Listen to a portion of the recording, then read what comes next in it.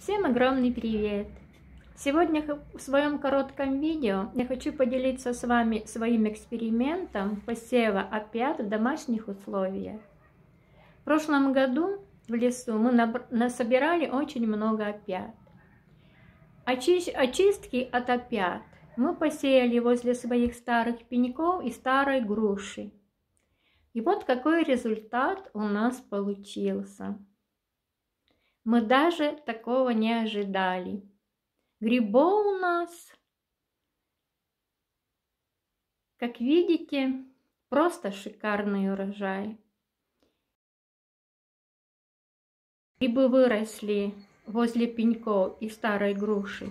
Они, грибница пошла по всему у нас участку. Вот это на улице, возле забора. И все пеньки у нас в опятах.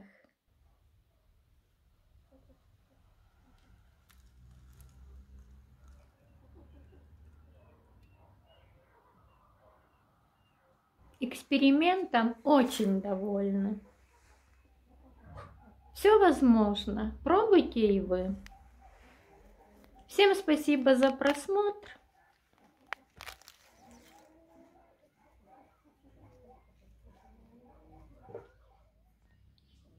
С любовью от Марьюшки.